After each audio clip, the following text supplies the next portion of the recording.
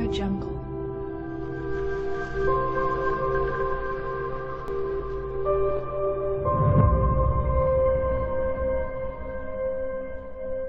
Audio Jungle. 原标题：三周之内连坠六架美国空军深陷坠机魔咒。根据美国防务新闻网站的报道，美军在近三周的时间内共计坠毁六架飞机，造成了共计十六名美军机组人员的死亡。据外媒消息，三月十四日，美国海军一架 F A 十八楼超级大黄蜂在训练中坠毁，两名机组人员死亡。三月十五日，美国空军一架 H H 六零铺路鹰直升机在伊拉克坠毁，七名机组人员死亡。四月三日，美国海军陆战队一架 A V 八 B 海盗战斗机在吉布提坠毁，飞行员跳伞弃机。四月三日，美国海军陆战队一架 C H 五三 E 超级种马直升机在加利福尼亚州训练时坠毁，四名机组人员死亡。四月四日，美国空军雷鸟飞行表演队一架 F 幺六战斗机在内华达州内里斯空军基地坠毁，飞行员死亡。四月六日，美国陆军的一架 A H 六四阿帕奇攻击直升机坠毁，造成两名士兵死亡。雷鸟表演队坠机的飞行员斯蒂芬·德尔巴尼诺，在半个多月的时间里，这样密集频发的事故，在美国空军的历史上都不曾出现。事故的原因，现在我们还不得而知。虽然美国军方宣称并没证据显示这些事故之间有内在的联系，但是美国国防部长马蒂斯却警告空军军官，不要谈论飞机的维护状况如何糟糕。从这句耐人寻味的话中，我们可以看出，美国空军的确出了问题。这个当之无愧为世界第一的空军，这个在常人眼中象征着先进与强大的美国空军，也并非是毫无破绽可循的。所以，就让我们来探寻一番坠机事件背后的一些隐情。A V 八 B 的保养维护飞机，作为一个复杂精密的机械集合。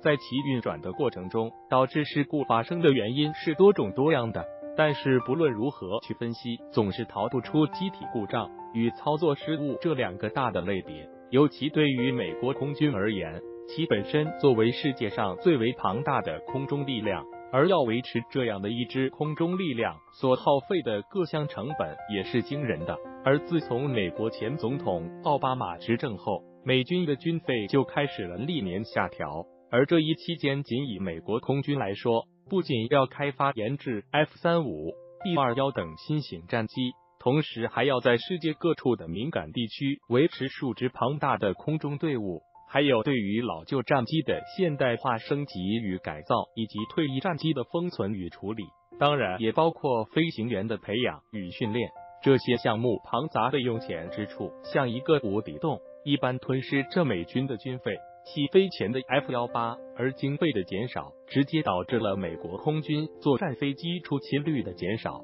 美军在二零一七年的总飞行时间，相比二零一三降低了十七万小时，但是事故率却上升了百分之三十九。由此，我们是否可以推断出美国空军在训练时间上的减少，影响到了飞行员的操作熟练度？此外，美国空军为了将经费更为集中的运用在新式武器的研发项目上，便削减了后勤系统的经费，裁撤了大量的富有经验的地勤人员。这也让美国空军的战机在维护和保养上出现了疏漏。F 幺八的地勤人员，当然，我们也不能就此片面的得出美国空军一定出了什么大问题。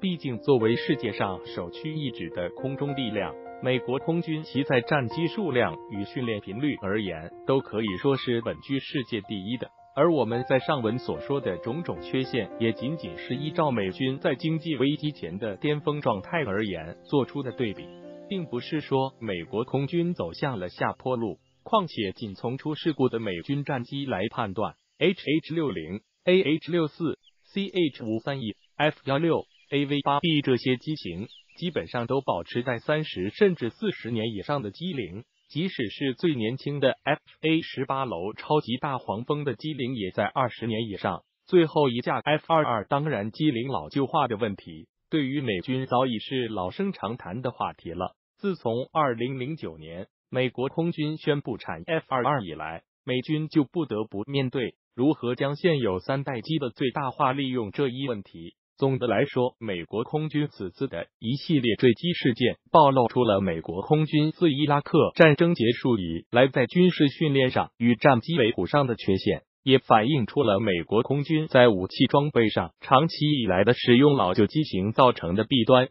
但是，无论是缺陷还是弊端，这些仅仅是参照强盛时期的美国空军而言，并不代表着美国空军综合实力的下降。